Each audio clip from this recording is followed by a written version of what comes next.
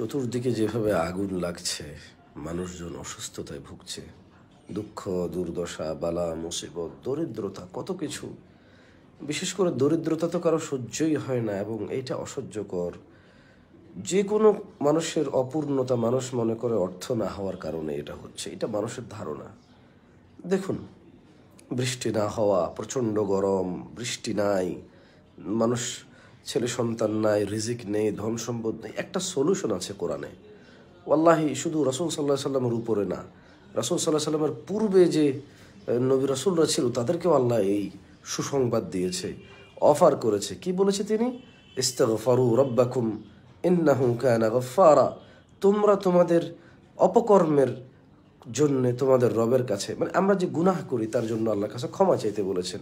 ইস্তাগফারু রব্বাকুম, তোমরা তোমাদের রবের কাছে ক্ষমা চাও। ইন্নাহু কানা গফফারা। তিনি অতীব ক্ষমাশীল। ইউরসিলিস সামা আলাইকুম মিদরারা। তোমরা ক্ষমা চাইলে তিনি আকাশ থেকে বৃষ্টি বর্ষণ করবে। ওয়ুমদিদকুম বিআমওয়াল, তোমাদের সম্পদ বৃদ্ধি করবে। ওয়াবানিন, তোমাদের ছেলে সন্তান দান করবে।